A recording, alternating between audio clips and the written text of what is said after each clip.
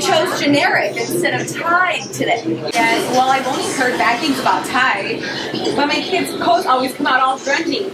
Maybe we can reduce some of your cognitive dissonance. Tide's been America's number one laundry detergent for the past 70 years. And they've just recently changed their packaging to be more childproof. it's typical for children and moms. So, and haven't you heard what New England Patriots tight end Rob Gronkowski has said about Tide Pods? No, I haven't. Oh my gosh, let's take a look. Hey Gronk, is eating Tide Pods ever a good idea? No, no, no, no, no, no, no. Not even as a joke? No, no, no. Should you use Tide Pods for anything except for cleaning clothes? No, no, no. Are you sure? What the heck is going on, people? Use Tide Pods for washing, not eating. Plus, they make clothes brighter and wider. Tide. Thanks, I'll give it a try.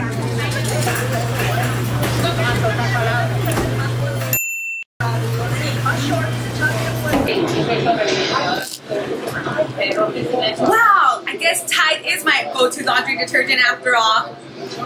Tide ad.